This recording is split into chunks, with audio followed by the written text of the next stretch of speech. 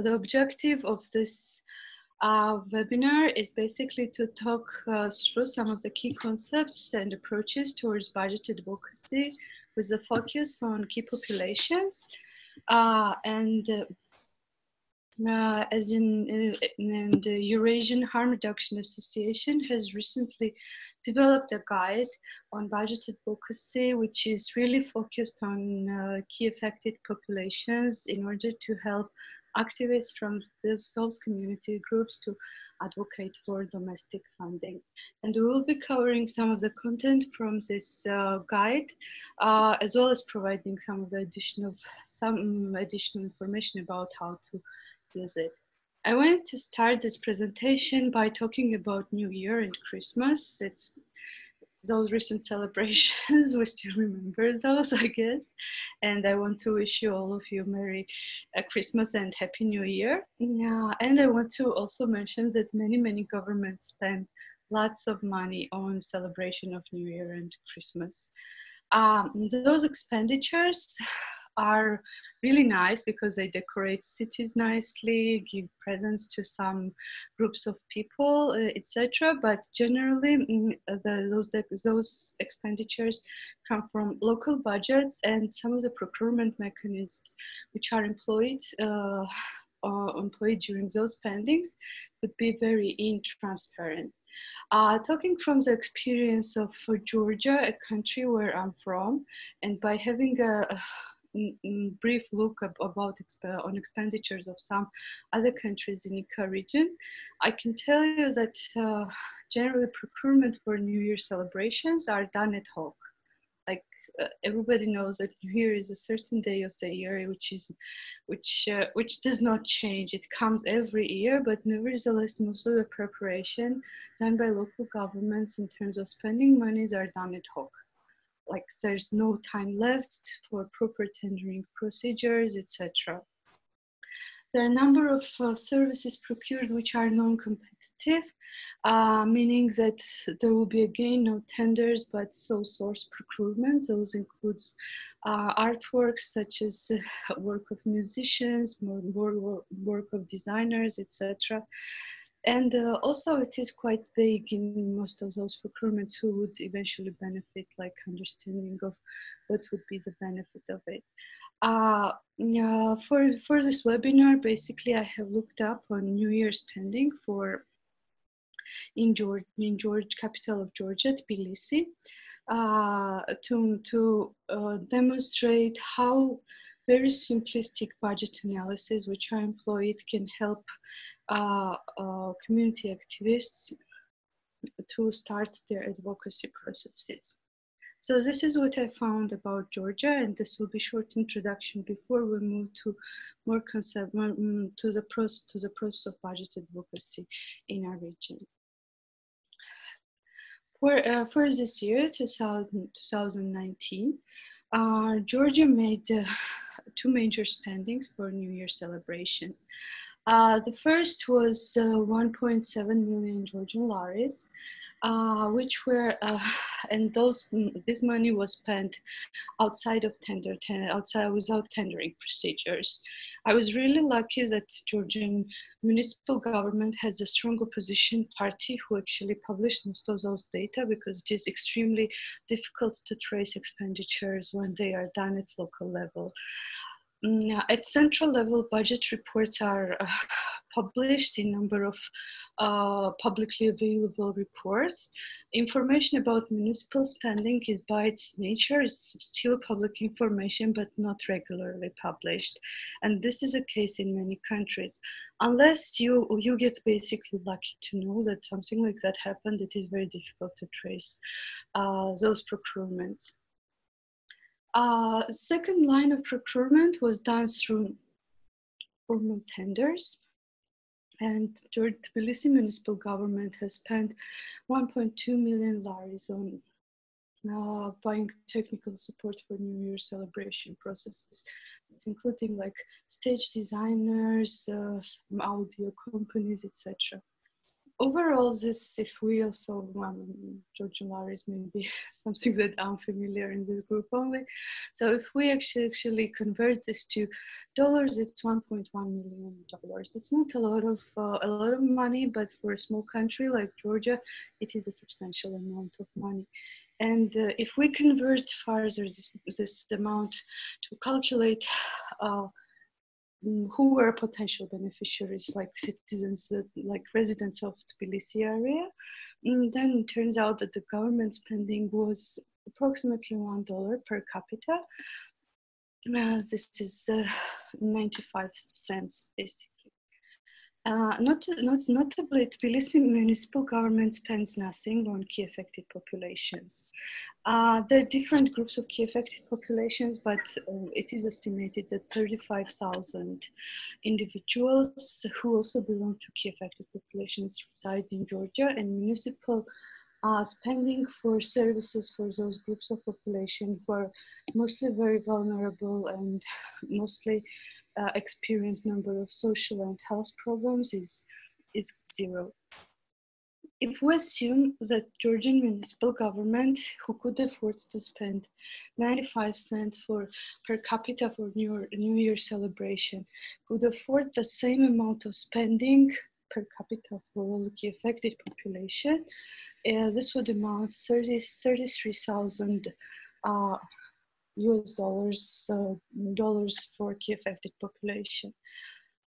Uh, by having such calculation, those figures would be valid only for Georgia, but by making and following the logic of this calculation, it is easy to generate some amount of money which could be advocated for. Mm, so is since municipal government can spend certain amount of money for public celebration, it can also spend the same amount of money for per capita, meaning for uh, for uh, public public for such a public good as delivered public health services for key affected Uh, so this, uh, if this argument has 10, definitely the $33,000 is not much, uh, but nevertheless it is very different from current level of spending, which is zero. Could buy lots of goods for individuals uh, who need those services a lot. This could be HIV prevention package annual, which costs which costs about twenty four dollars annually, and this is very much an average uh, figure of uh, different packages available for different key affected populations. It would have bought a housing or shelter, shelter for about um, 10 to 15 bed facilities for the same groups, and there's currently no, no, no shelter for any of the affected populations. So lots of public goods can actually, could have been actually generated from the same amount of money definitely it is it is impossible and hard to actually advocate that new year celebration were cancelled in any country and the money diverted to any of the um, public health issues but nevertheless advocacy for diverting same similar per capita spending to some of the public benefits uh, could have been a stronger. Uh, so shortage for funding is very tangible issue for countries in ICA region uh, but when it comes to budget advocacy, it is a process to influence public uh, influence allocation of public resources. Very often, countries don't see uh, in, ICA, region where services is largely funded by international donors. They do not see government, have not really seen governments as a, as a as an agency to to advocate as an agency to which they need to advocate for funding. However, many of the processes and changes in our in this region have caused more uh, civil society organizations to focus more on domestic funding. Domestic funding is the only sustainable way to fund any of interventions for key affected populations. And in this guide, actually, we discuss a lot about harm reduction. Uh, and uh, this this is a novelty, novel approach, speaking to government and advocating to government on how to change its allocation. Um, uh, mm, definitely, mm, the end of uh, end of budget advocacy work is that there is uh, uh, more funding that goes to the services that benefit the beneficiaries. However, actual budget advocacy work can include different types of uh, processes and activities in which civil society organization activists can engage. One of this type of work is uh, building budget expertise. Uh, this means uh, increasing capacity of civil society activists, organizations, community members, even international organizations and public servants in budgeting processes. It is very common that even public officials in many countries can lack a sufficient understanding of budgeting processes and how things work. Especially this is true when advocacy is done at local level where municipal government could not be well aware of some of the uh, mechanisms to actually request more funding, program more program, uh, develop more programs, and advocate for more allocation from the central government uh, if that's a source of funding that which they use. Uh, definitely increasing expertise among civil society activists is very essential. Budget documents are generally somewhat complex and uh, the process is also seems to be very technical in which only some some economists or public financing specialists engaged uh, and uh, many civil society activists actually avoid working with with uh, with budgets. They avoid doing costing exercise. They avoid engaging in discussions about budget issues, uh, which which somewhat diminishes their diminishes their role as civil society activists. Um, there's uh, very often people tend to uh, avoid discussions with public officials when when those discussions lead lead to talks about money uh, because they feel that they do not have sufficient information to argue against government officials therefore actually generating this capacity among civil society activists is very essential we will talk later that no actually no government decision will be uh, will be effective unless there's a budget allocated towards this decision. Therefore, in speaking with budget figures and uh, supporting your ideas and opinions with budget figures is very important. Another part of budget advocacy work, which is just similarly as important as building the expertise and capacity, is analytical work. As, as I said, budgets could be com- complicated documents to read. Those are generally like a few hundred page long documents, which also change. So it's not like you, 1st of January, you sit and read those 400 documents, you understand everything, and this knowledge would be true for the for one year it's it's a continuous work which one has to engage uh, basically every day and every moment.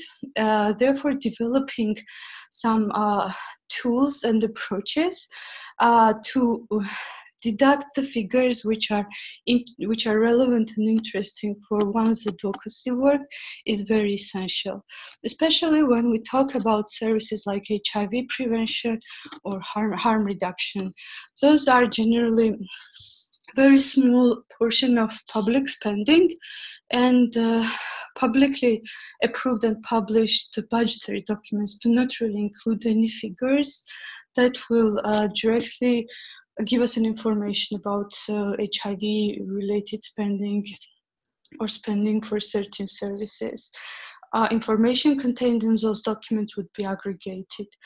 Uh, analytical work done by civil society organization, which would include requesting relevant public information, analyzing it regularly, and publishing already the publishing already digested pieces of information like figures or the funding has decreased, increased, etc., changed, somehow allocation has changed, somehow can significantly help uh, this organization as well as other organizations working in the field many of activists who engaged in uh, maybe some campaigning processes will have uh, no time or competence or willingness to do such uh, such type of work themselves. However, they can use these re- ready-made, digested pieces of information to support their advocacy messages. Uh, collecting and sharing best practices in the field of budget advocacy is very, also very important. This is extremely inspirational. A lot of times we will see that there's a there's certainly a need of extra additional allocation from budget or change in the budgetary allocation. However, and this need is understood and seen by the local. Uh, um, community-based organization or civil society organization. Um, however, there is little known about the, uh, how to approach those issues, like just by going to visit public officials, etc., how to approach this. However, even in ICA regions, there are a number of already existing success stories um, on how number of community-based organizations has managed to change allocation, public allocations, and advocate for more, more budgetary allocations for harm reduction services or other services, and therefore sharing this this experience not only inspires people by telling them yes this is doable but also actually gives some ready-made recipes uh, uh, how to approach certain certain issues. Improving accountability is is very major piece of piece of budget advocacy, budget advocacy uh, um, work. Uh, on accountability issues, there are a number of organizations who actually provide uh, very significant input on public public budget and public accountability work. Therefore, as this work could be done in partnerships with uh, large and already well-established civil society organizations. Mm, most of those are presented in all of all of countries in ICA, and uh, civil society organizations working with key affected populations can actually partner with those um, no, with those those processes. And later on the slides, we will see some of the data and findings for uh, regional surveys on public accountability.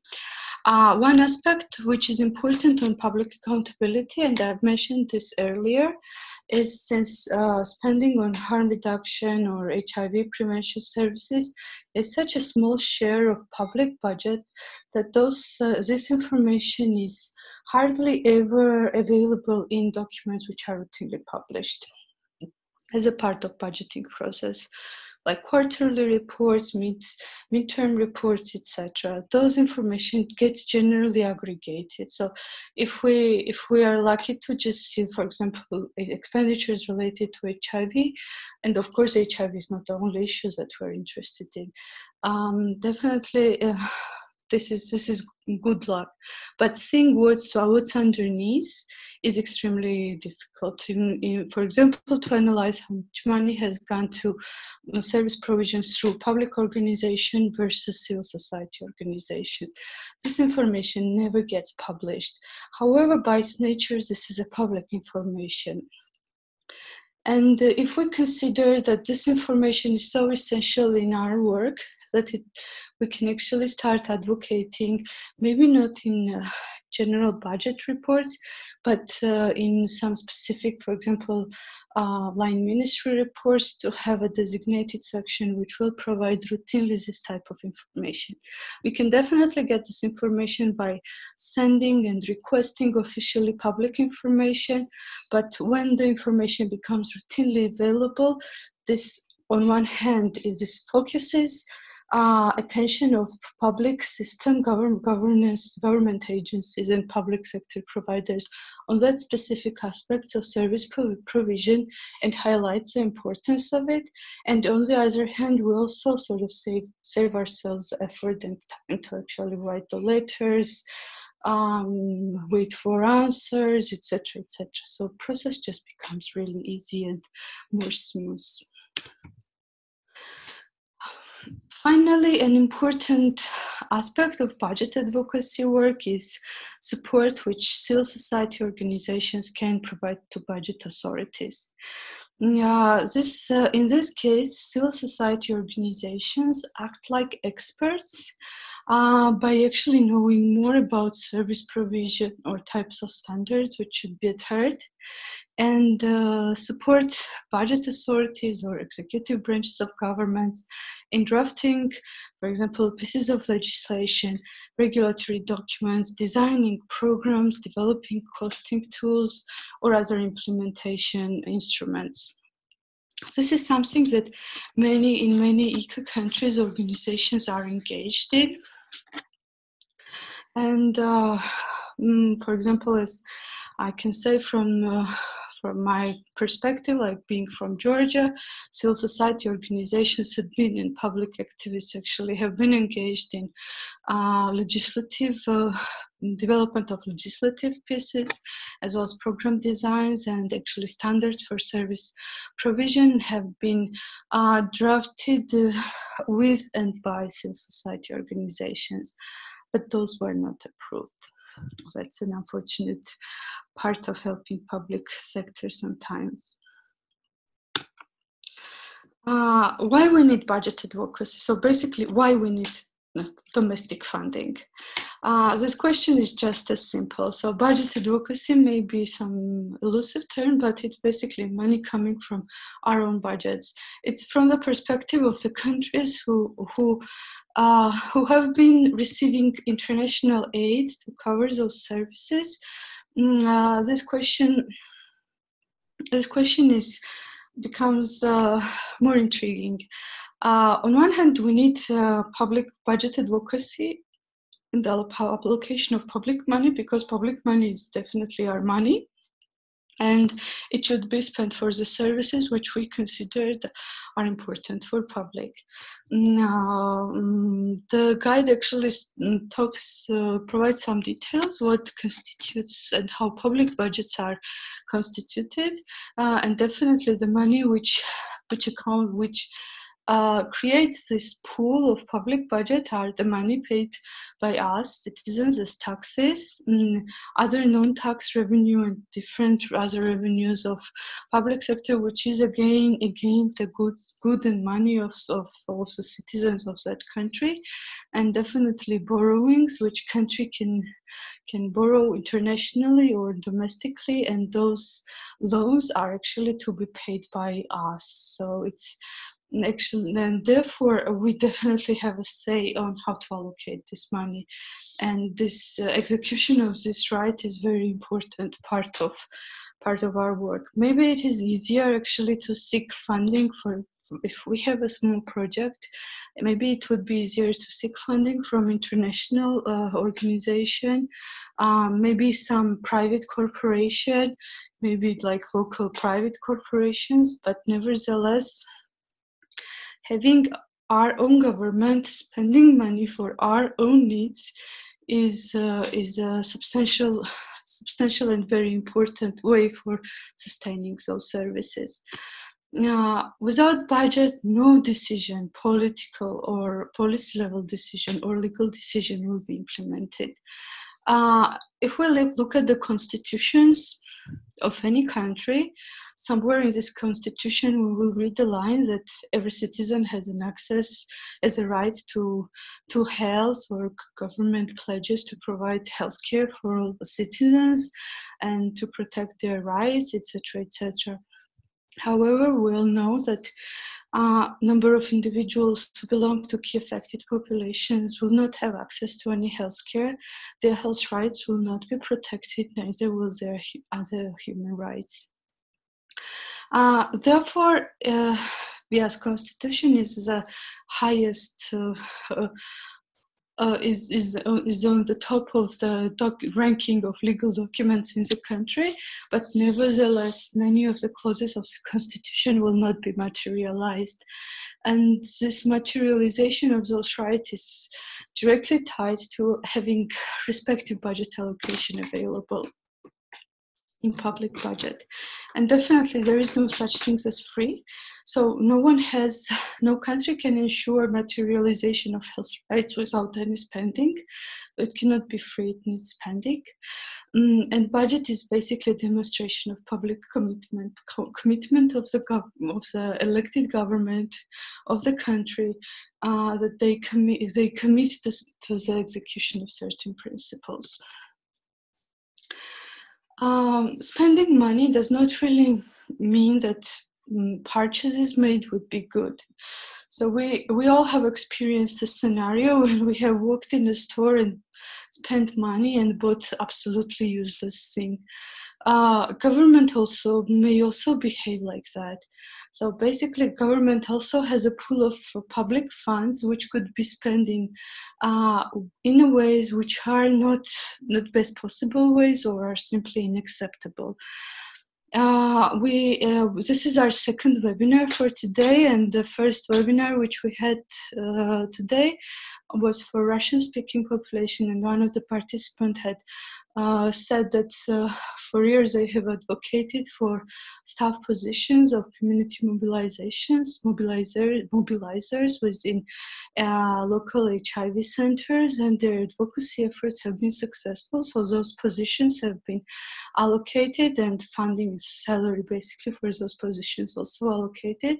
However, that means that no community member is now employed on this position, and actually community members are no longer engaged in service provision. So yes, the money was spent and purchases were made, but those purchases are not are not the things that we have desired initially. So therefore, budget advocacy actually is a process in which we influence those allocations and try to change them in a way and in a design that is suitable for our needs. So if we want services for, let's say, um, IDUs, if we want harm reduction services, there should be a services which are also provided by peers.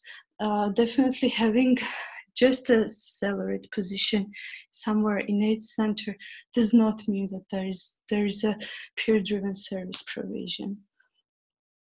Mm, but budget advocacy is a difficult process. Budget advocacy it had it has not been invented for harm reduction or HIV, and this has a very long history around the world in terms of how civil societies have actually uh, managed to advocate for pro-poor, pro pro gender sensitive budgets, etc. But working with key affected populations has its own difficulties. And those difficulties are very deep rooted and very hard to be overcome. Uh, this is a high level of criminalization, stigmatization, and the discrimination of individuals who belong to uh, to those groups. Uh, it is very hard to actually advocate for a need when can, when government's position is that this individual is a criminal. When government says that this individual actually for the behavior for that certain behavior should be put in prison. It is very hard to advocate for the needs of those individuals and therefore it is even more essential to actually conduct such a, such a process stigmatization and decriminalization also means that there will be very little supporters for our advocacy process.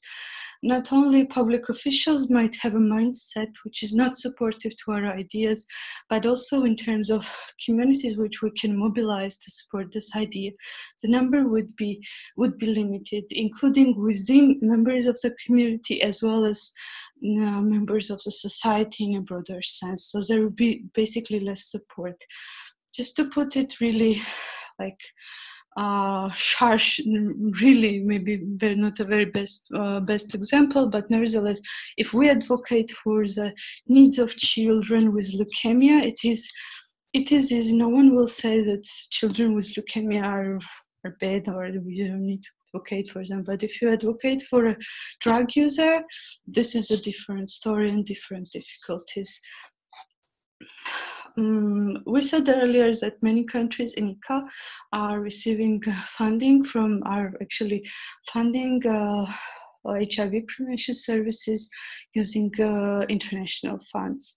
And transition from donor which donors which is happening much more faster than domestic governments are actually stepping in in the process of providing those services to individuals as something that that is experienced negatively by, many of the countries. Many countries are still in transition process and hopefully will manage to successfully conduct their budget advocacy work and uh, ensure public allocations aspect of budget advocacy work is very uh, different is becoming difficult because of corruption. Many countries in which corruption is a major issue uh, not only information about budget allocation will be hidden uh, but actually there could be uh, threats of other different types of barriers for budget advocacy work. Allocation, pub- ensuring public allocation is not just that you got you you get some certain amount of money in a budget, which says let's say this is for harm reduction, but also ensuring that this money is spent effectively and in a corrupt way, meaning that it will deliver services to to the end users and beneficiaries. And corruption is something that could definitely hinder this process uh, by diverting these resources to uh, certain favor, favorable service delivery modalities. Um, many countries in ICA are uh, emerging economies, which also means that there's a lack of transparency in their uh, in their budgets. I will a little bit skip towards next slide to sh- to show you the findings of uh, Open Budget Index survey. Uh, this is 2017 data. Open Budget Survey is conducted biannually, um, and it lists uh, sort of uh, level of openness of budget information. My country, Georgia, is on top of this list, and this is just a selection of countries. Um, uh, it, Georgia is on top of the list, but as you, as you go down the list, you would see that uh, the con- budget openness can dramatically, can drastically actually decrease by countries. Um, this shows, even if we look at the sort of Western countries like Germany, France, etc., budget openness cannot in those countries is also not very close to 100%. So the process could be pretty close, and definitely the lack of transparency significantly hinders budget advocacy work. It makes the process much more lengthy and even could, could be impossible to transparency transparency aspect is more important when it comes to public procurement processes. Uh, procurement or the way how money will be spent is uh, one of the key aspects of budget advocacy work, and uh, in transparency of uh, public spending is something that is very hard to tackle. Uh, there is another challenge associated with budget advocacy work, which is a natural disco- disconnect between the efforts and the results. Unfortunately, as with many other, other advocacy work, uh, the fact that you start advocacy, let's say in, in January, and you finish your activities in December, does not mean that in next year Jan- January budget will actually contain a line which will say, let's say, harm reduction budget. This is this does not really happen like that, and the process is very much is very complicated. Actually, you can be successful in one of your efforts, and uh, I'll advocate and successful, successfully advocate for, for a budget for one tender for civil society organizations on harm reduction services, but nevertheless, this could this might not be sustainable. This could be just one year long contract, and it will disappear by the end of the year. And when it comes to the advocacy process at central government level, this process is much more lengthy and will would be hard to imagine that it actually so successfully and directly leads leads to, to public allocations. Mm, and therefore, this natural disconnect which occurs be, be, between activities and results, on one hand, could be discouraging, and on the other hand, could be uh, could be a constraint to constraint constraint during planning any of budget advocacy works. Many of budget advocacy projects nowadays in ICA region will also receive some so some type of support in the face of grants. Those grants could be small, big, etc. Even Global Fund provides grants for that. Uh, uh, and it is it is a challenge for those grants to actually see this uh, to demonstrate this direct linkage between activities and the results.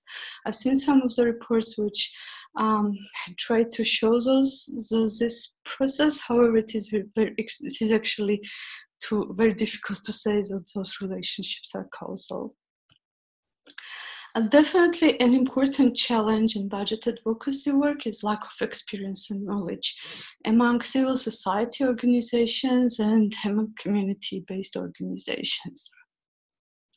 It's not like those people have, we gather people in civil society organizations or community organizations by their professions, like by judging, oh, your your economist, your public finance expert, etc. Good. So we don't collect. We don't. Community organizations naturally are not professionally driven organizations who will include people who have certain professional backgrounds. They might. Uh, by chance have people who, who have certain expertise. Mm, however, the whole idea of community organization is not to have a bunch of economists sitting around or a bunch of public finance or public management specialists sitting around. Therefore, it will include lots of people who are very much motivated, but probably have never seen public budget at all, or never really bothered to under, never really understood how how public budget is adopted or formulated. And gaining this new knowledge is, is a challenge, and it requires not only efforts in terms of self-education but also experience um, for i think over past few years uh, which i've been engaged in at some level in budget advocacy work in ICA region, uh, I've seen number and number of workshops which have been carried out about budget advocacy. I've attended some myself, even um, taught on some of those courses. Um, and I realized that uh, people get some information which is a pretty, you know, pretty general, uh, but what, what is lacking is an actual utilization of this information and switching general information, transforming general information into experience.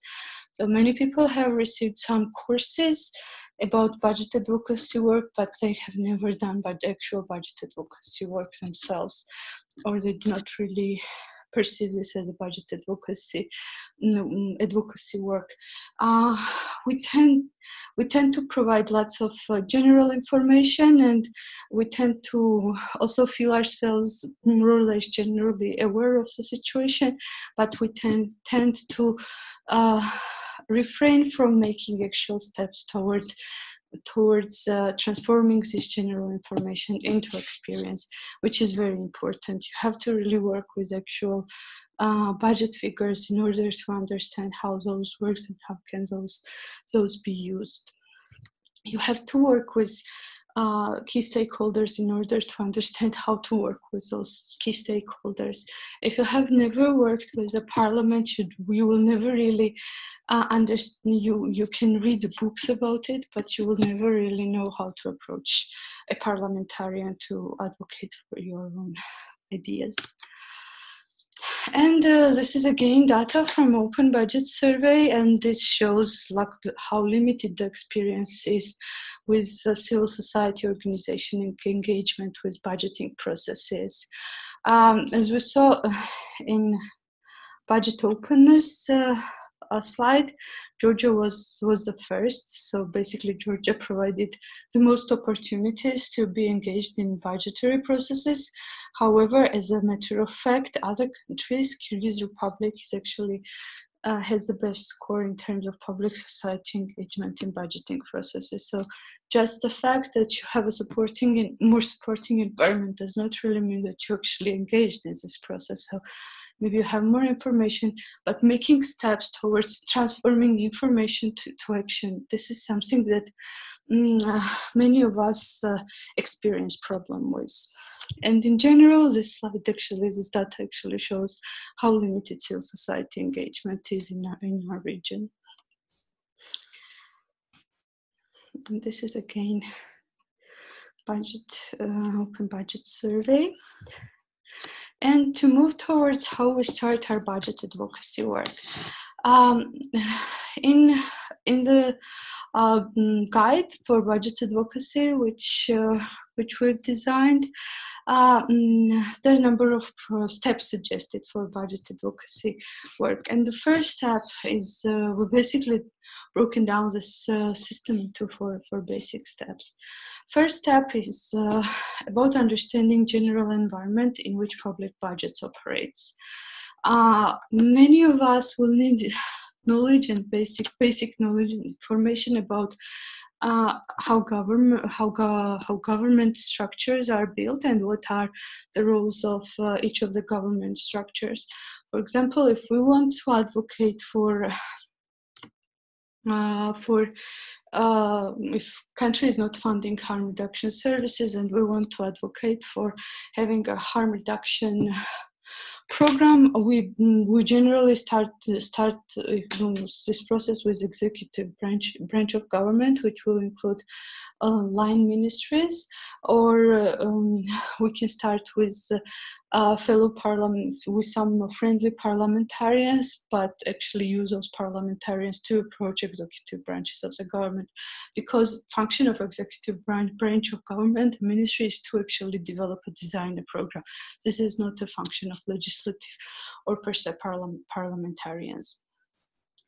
Uh, another important aspect which we need to understand is how health systems in our country functions and this is definitely true in our region because most of the countries in ICA region understands uh, HIV prevention, harm reduction, and those services as a part of healthcare domain. So it will be part of health health services. By its nature, largely the services which are included into let's say HIV, let's say harm reduction by its nature those services are not medical and when health uh, systems are approached to provide funding for harm reduction, um, it is very difficult to advocate for, for funding for the services who have non-medical nature. Uh, largely, most of those services would be social services, legal services, etc., etc., non non-medical type of services.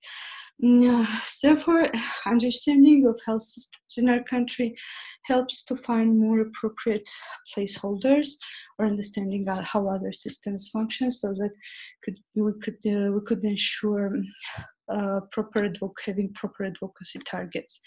Important part is also the um, policy policy processes on universal healthcare coverage which is now being uptaken by a number of uh, countries in ICA region uh, as it is uh, promoted as as a rational and efficient approach to uh, to organization of uh, health systems in health systems uh, and advocacy for certain services for example harm reduction within universal healthcare healthcare agenda poses its own challenges as well as its own opportunities and those could be exploited appropriately.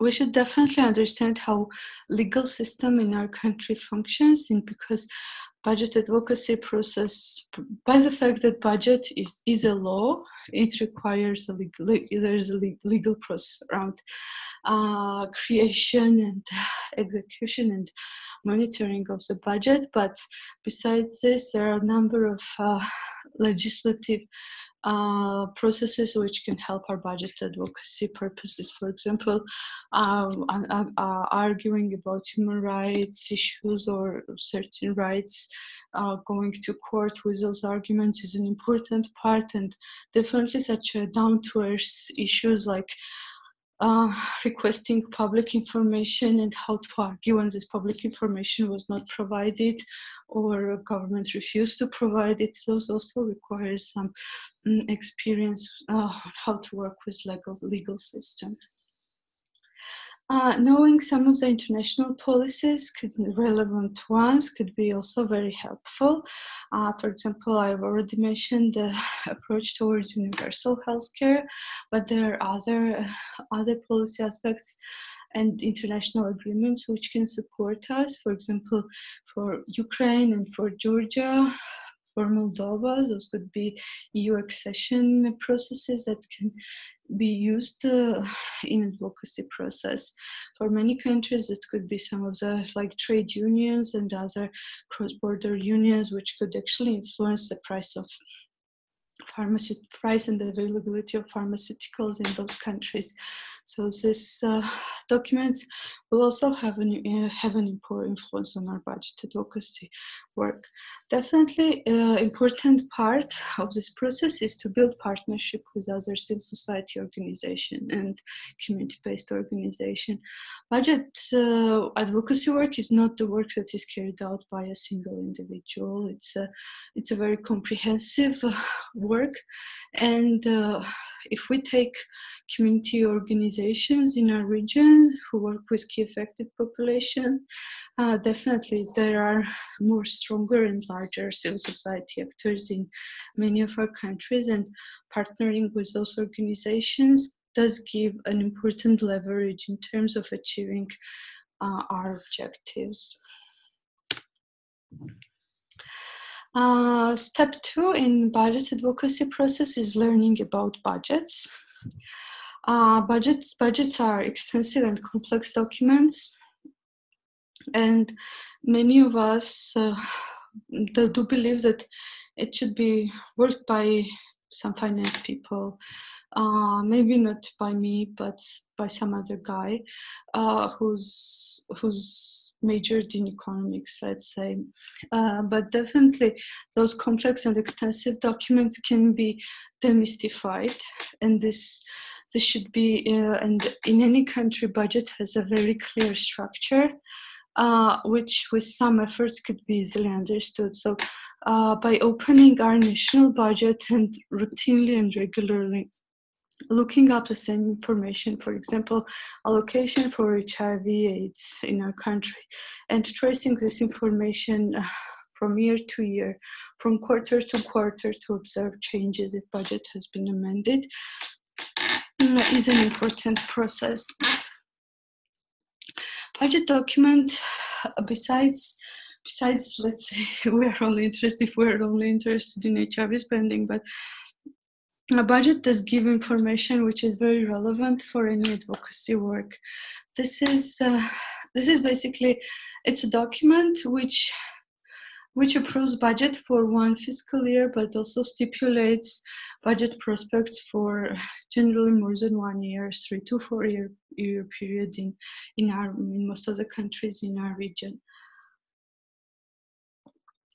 It will say how much, what is expected revenue or income level know, for the government for the coming years. If government is expecting dramatic increase in revenues, definitely it seems like a good point or good time to advocate. But if government is experiencing uh, is expecting a, a, decrease in revenues, maybe it's not a good time for advoc- advocating for new alloc new funds, and maybe then advocacy process should be uh, should be focused uh, on. Um, uh, on actually increasing internal efficiency, inter- in changing internally allocation and increasing internal efficiencies it is important to understand what is government's vision and uh, forecast about sources of revenues. If government is planning half of its budget uh, using borrowings, it is a different story. But if uh, government expectation is that revenues from local taxes will be increasing dramatically, it is a different story. And those information can also help us target our advocacy efforts. And the third important piece of section of budget definitely talks about what the government, how governments will uh, spend those money, what would be the priorities, and how how much money will be allocated for each of those priorities. And this is a very important piece for us to plan our advocacy efforts. Uh, steps three is uh, is uh, for us to understand budget cycle. Um, budget budget budget cycles in most of the countries uh, budget cycles are very much the same in most of the countries. They even follow the same calendar.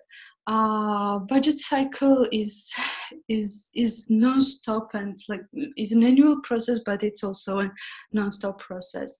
Uh, for example mm, budget cycle we we decided to present it in this four step model which starts with budget formulation is uh, this is a process when executive branch of the government actually draws the plan together uh, to uh, um, to construct the budget. This process, uh, the, on one hand, this process uh, finish this process generally finishes sometimes in uh, August, September, uh, mm, the budget calendar will strictly say on which date, but this does not mean that the moment that calendar defines that budget formulation is uh, sort of finished and budget is submitted for to a legislative branch of the government for approval, that budget formulation process actually stops. If budget formulation process is pretty much an ongoing process which has certain benchmarks on which certain documents are generated, developed, published, made public, enacted, etc. But nevertheless, the process is very much ongoing. Budget formulation is done on, on fiscal basis for one year period as well as for long term period, three or four years in most of the countries in our region. As we said, budget is a law by its nature, therefore it needs a legislative branch of the government to approve it. The situation would be would be somewhat different uh, when we talk about local budgets, and therefore it is very important to differentiate processes of central budgeting processes with local budgeting processes. Those would have uh, calendars which which would be slightly different from each other and this uh, um, two calendars this, this needs to be very clearly understood uh, by activists execution is a process which starts after budget uh, enactment and includes uh, implementation of of the priorities and activities which are stipulated in the budget. So when budget is formulated by executive branch of the government for enactment, it is transferred to legislative branch of the government, while execution again happens to happens by executive government.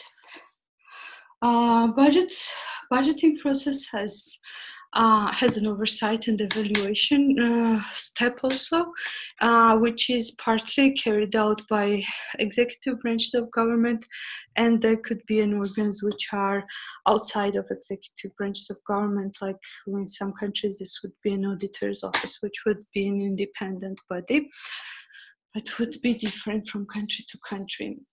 Uh, the important aspect of this four step model to understand that on one hand it is linked to a calendar which means that there are dates and periods where each of the step is extremely uh, intensified but nevertheless it is like continuous and non-stop model a second aspect, which is important to understand in budget cycle process, is that when you intervene in one of one of those steps, you will have special objectives and targets and documents which you want to influence. But nevertheless, your influence should be seen even successful in, for example, at enactment process, you should actually see that this is an executed and when executed it is there is a proper evaluation of this execution going on and then this idea is taken up in next budget formulation cycle. Um, so this provides an activist some of uh, this can help activists actually to develop timeline for for the budget advocacy work and see what are specific activities which they should be doing on each of um, each of those steps. And i want to specifically focus on oversight and evaluation part. Oversight as the whole budgeting process oversight and evaluation part is very much it is this those steps do not need us community activists or society organizations. Those steps are written down in the law and there are agencies and organs who do it. They perform it independent of the fact we exist or not. However since we exist we want to find our spot in each of those steps. And uh, oversight and evaluation is something that is active that is carried out by by any government organizations but actually findings of this process could be very much irrelevant to to our objectives and can provide very little to no information uh, that we could use.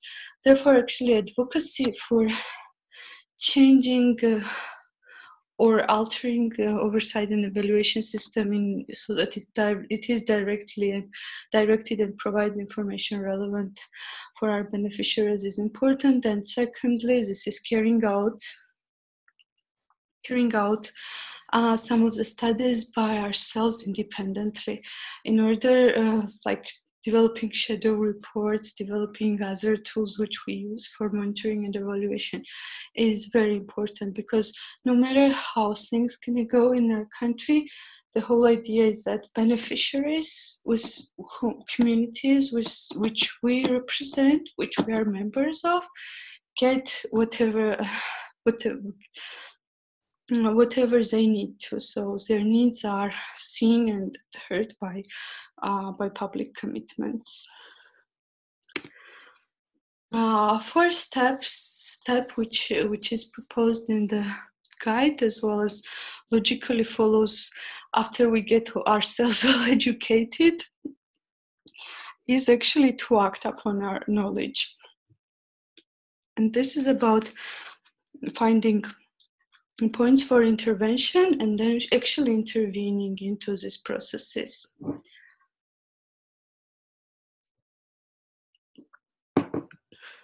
As we said, by looking at this roundy thing, which is used as a background of this slide, budget is a cyclic process and it has very strict calendar attached to it.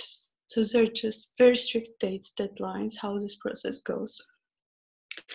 And looking at this calendar, on one way, yes, we plan our efforts continuously, but on the other hand, we know which is which point of intervention is most important. And this is what the four steps is about.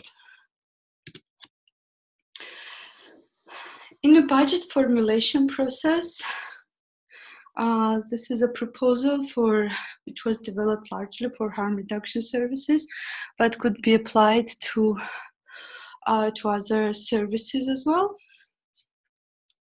Uh, at budget formulation process, uh, our objective is to make sure that needs of uh, key affected population or IDUs are actually become actually policy priorities. Uh, stakeholders could be different from country to country, but in case of ICA, this could include the country coordination mechanism because still still considering that funding is largely dependent on global fund uh, who also gives money in some countries via budgets uh, it's ministry of health and ministry of parliament. It could be parliamentarians. And uh, the placeholder of our efforts documents which we want to influence and change in this process is a set of uh, strategic documents like health policy, if country has national HIV program, strategic plan, etc. We want we want to influence those documents so that there are clauses which say that harm reduction should be funded in country or people with uh, um, HIV should be provided uh, free antiretroviral treatment. So such things should be written. There should be a strategic, strategic, strategic level, policy level documents, which uh, which actually have a placeholder to for those priorities. Uh, those are programmatic documents and guidelines which we want to influence. Definitely, if this is ARV treatment, we want to make sure that uh, uh, there's a even clinical guidelines says the treatment starts as soon as there's a diagnosis, and uh, we don't wait for viral loads to go up uh, programmatic document will stipulate issues like how many needles and syringes are distributed per individuals and you would see national documents which will say that uh, individual is only eligible to 70 or 100 or 120 uh, uh, syringes per year, while if individual, which means that if individual is injecting, injecting certain substance which needs more syringes, so this individual is basically has to go and buy or share needles.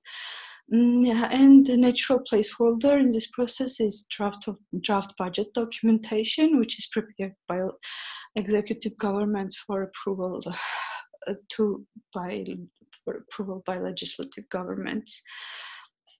Mm, some of the input which uh, we can have in this process is uh, actually developing a budget esti- estimations, like how much money will be needed. For example, the HIV national strategy generally con- contains a budget, uh, which contains budget estimation how much country will need to achieve X, X level of coverage. Uh, it includes development of costing tools. If we talk about establishing needle and syringe programs, um, how much money, uh, how much would be the unit cost of, let's say, serving one individual or opening one center, or etc.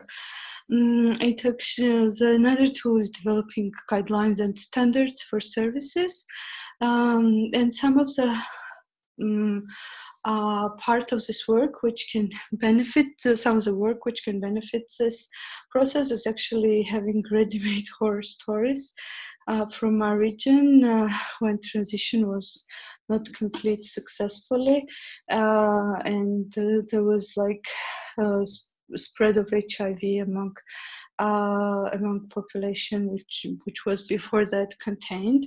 Those are really unfortunate and sad stories, and just to make sure that our very own country avoids such such happenings. Sorry.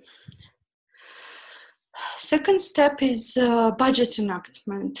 This is when budget is already formulated, aggregated, so every line ministry formulates a budget, it becomes aggregated budget and is submitted by the Ministry of Finance to a legislative branch of the government. This could be uh, Parliament, Senate, I don't know, countries might have different names for those organs of governments. Uh, for us, the objective is that if we achieved on a formulation process that funding, if we achieve that there is a funding allocation uh, for for our advocacy objectives that this funding allocation gets actually approved.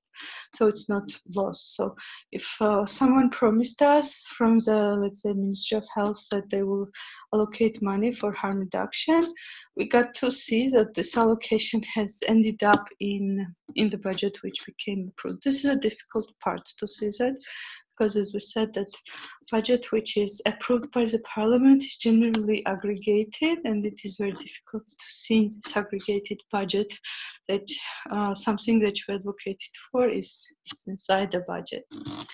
However, the stakeholders and budget enactment process uh, could change. So this could be, this becomes in countries where it's parliament, parliament members of parliament um, these members of parliament can ask questions and demand information from executive or government branch on whether certain services are considered and um, included in this. Political parties if we manage to have some friendly political parties who support certain ideas for which we advocated advocating could be very active and those political parties generally have more experience uh, in working within parliament, parliament and within parliamentarian hearings than maybe some civil society organizations. Uh, Prime Minister, Ministry of Health, and Ministry of Finance again. And definitely, uh, we as a civil society actor should should try to attend uh, those hearings if it's possible. Uh, uh, in large countries, it could be very difficult, but in some countries, but in most, but there's a there's always a process to attend it, and if possible, we should really make an effort to be presented there and to voice out our arguments or use parliamentarians and political parties or unions to voice out some of the arguments uh, which we uh, want to which we want to highlight, even if it's even if the allocation which we demanded is not included in the budget, it is still important to uh, share this information loudly because parliamentarian hearings are often recorded and heard by uh, and transmitted on television, radio, etc some document which we want to influence in this process or placeholder for our advocacy efforts is basically budget documentation. So I want to see that budget contains a priority uh, and allocation for, for, for the things which we advocate for. Uh, tools which we can use in this process is partnerships we can develop analytical notes actually to provide parliamentarians if uh, for example recently uh, eurasian harm reduction association has conducted a very uh, important uh, study which was cost of criminalization. Uh, so basically when um, if we as an activist might not be successful in advocating uh, for shifting spending from punitive system into more humanistic system, which would be from Ministry of Interior to Ministry of Health.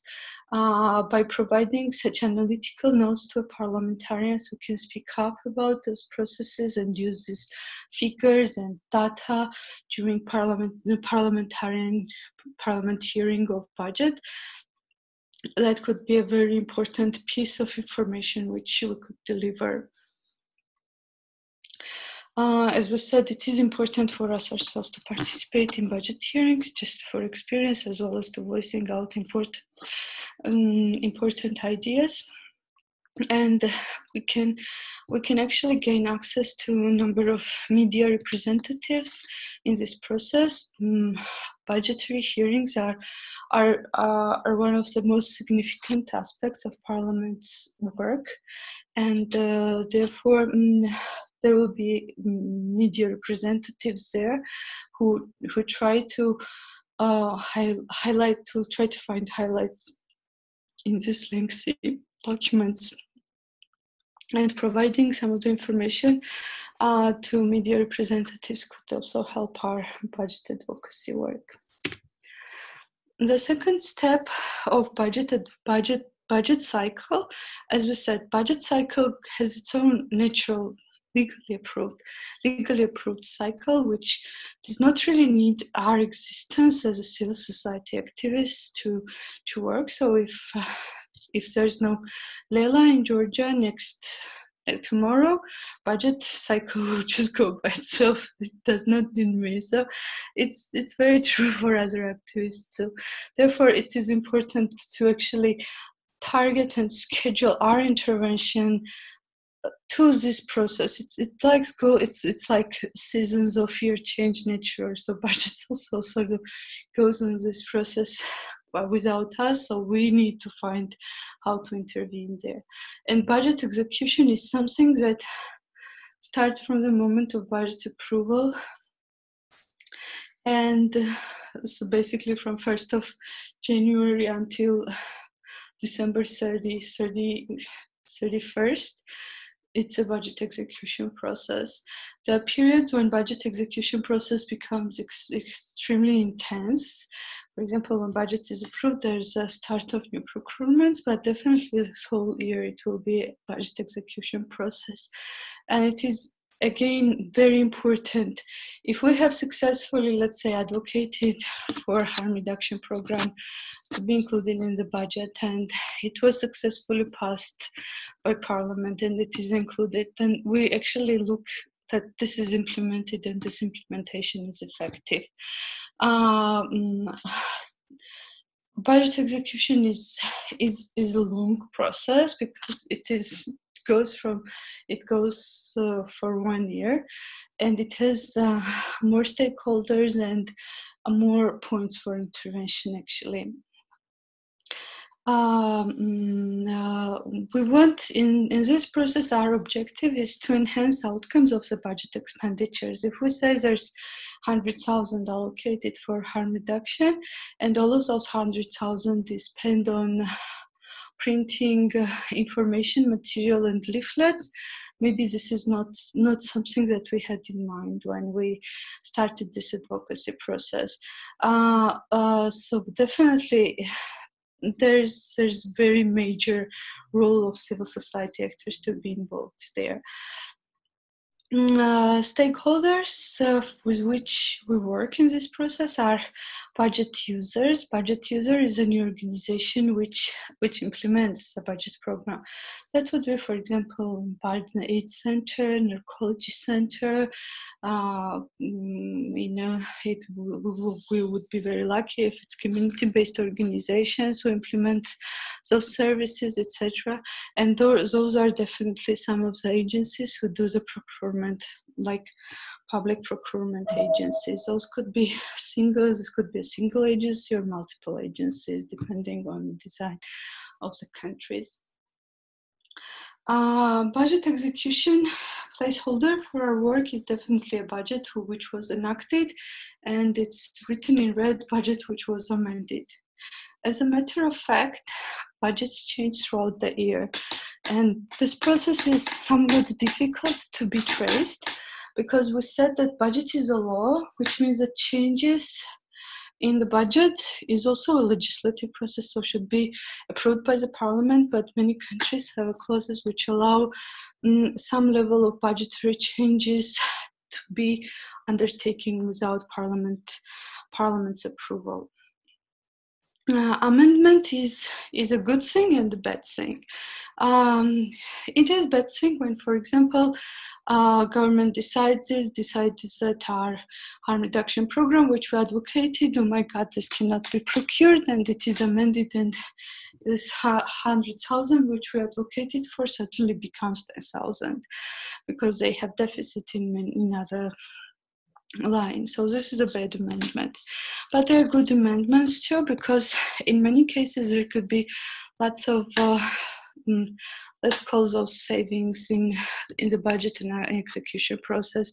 For example, if public if government has budgeted uh, three million for buying certain drugs, and after end of this tender, there's uh, there's a there's a save let's call it saving there's economy of one million dollars this is this this needs to budget needs to be amended and this is something that could, could advocate for. Um, uh, from my experience i know that ukraine has been extremely successful actually to use uh, amendments as a part of their budget advocacy effort. So they basically advocated very strongly uh, for using sums which were which ended up to be eco- economies of the budget to be directed to some of the services for key affected populations. So this could be an important step. In order to see those opportunities, one needs to look at quarterly budgetary quarterly reform reports. Well, quarterly reports are produced obviously by quarter, uh, whereas uh, for fourth report, fourth quarter report is an annual report. Uh, especially important part is mid-year report because uh, during mid-year report, most of the tendering procedures would be already over, and government starts to reprogram whatever economies or underspending or overspendings they had in each of the lines. So this is an important aspect for intervention. Uh, another aspect of intervention is regulations uh, about public procurement. For example, when we want to advocate for social contracting, which uh, which which is a term which is used in our region to denote that those services are purchased from uh, civil society organizations instead of public organizations. Mm, uh, this is something that needs to be uh, understood as a part of public procurement process. Uh, implementation documents are very important because uh, as we said, uh, allocation for harm reduction, which just goes on printing leaflets, is not the maybe a very best allocation. Um, now we can, as, a, as this process, we can influence technical specifications of procurements, like uh, QRs for tenders, basically. Um, we can demand open tenders, review those tenders, review budgetary reports, review processes around social contracting. And one of the key which is put in bold here uh, which is the strengths which community organizations have we, could, we can do community monitoring. Uh, budget execution means that funds approved in a budget for certain beneficiaries go to go to the, those beneficiaries so by arguing that by, by monitoring whether those funds actually benefited the end user or not is, is a very important aspect of um, intervening in a budget execution process and is basically a strong a strong side of community organizations because they have access to communities for for which those services are available to. Uh, if we have advocated for opening of a center, let's say, uh, facility harm reduction center somewhere in the region, and we see that it's July and there's no center there, um, you don't really uh, this is just bare bone fact, that budget was not executed implemented in a fashion. It was formulated and then uh, approved uh, and you don't really need for that any review of any complex documents etc so you don't really care whether public procurement in the law says that opening of the center is very complicated. You basically says this was a commitment of the say that this was a commitment of the government which was not implemented. So it's rather a it's rather a shortcut uh, to argue about things about the budgeting budget allocation and also a strong point for community organizations because they have the best access and it's a, their strong point actually to collect this information. So it's uh, as what WHO has called an effective coverage. So just commitment of the coverage does not mean that actually people benefited. So measuring effective coverage is something that is that could be done by community monitoring. And again, budget oversight and evaluation, which is a uh, last last step in this circular process, meaning that uh, this is not the end, but could be a start itself, um, is actually to enhance the quality and availability of cost uh, availability and cost effectiveness of the services. So again, the fact that we our country has spent transparently via open tender uh, 100,000 K, which we advocated for harm reduction on printing leaflets. The fact that it was not the most uh, cost-effective way of deliver harm reduction services is something that could, should, and uh, could come up as a part of budget oversight and evaluation process. Um, uh, the uh, stakeholders in this working process is definitely government bodies as well as oversight bodies. So oversight bodies can be part of the executive branch of the government or could could be outside of the executive branch of the government. Depends on uh, how the system is set up in the country. Uh, international organizations are also uh, very much uh, interested to see the uh, reports about budget execution in terms of audit reports as well as shadow reports, which could be produced by civil society organizations. Uh, uh, so all of those reports are important placeholders for our advocacy efforts. And uh, yes, tools for budget oversight and evaluation are various and uh, those tools a uh, uh, number of those tools already exist in many countries. We just need to find appropriate placeholder for something that is important for us uh, uh, but the important part again here is community monitoring because this is something that could be done by community organizations effectively and actually show uh, effectiveness of any program. So programs are designed for uh, uh, any program has a beneficiary and those beneficiaries have to be clearly defined and the fact whether the program has reached beneficiary or not is very important uh, part of its evaluation of its oversight.